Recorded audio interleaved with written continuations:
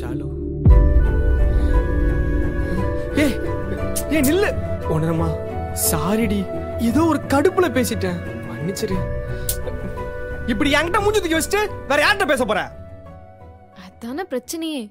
நான் நாதி இல்லாம இருக்கிறதால தானே உனக்கு என்ன பார்த்தா இலக்காரமா இருக்கு. அப்படிலாம் இல்லடி. எனக்கும் உன்னை விட்டா வேற யார் இருக்கா சொல்லு. தெரியாம பேசிட்டேன்டி. விடு. கைய விடு மாமா. சும்மா வள்ளு வள்ளுன்னு விழ வேண்டியது.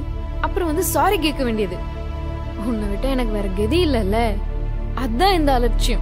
உன்னையே சுத்தி சுத்தி வந்து என் மரியாதையை நானே குறைச்சுக்கிட்டேன். ஏ உணரமா ஏன்டி பெரிய வார்த்தைலாம் பேசுற? ஓனர் அம்மா பேசாம வேலைக்காரின்னு கூப்பிடு. அதான் எனக்கு பொருத்தமா இருக்கும்.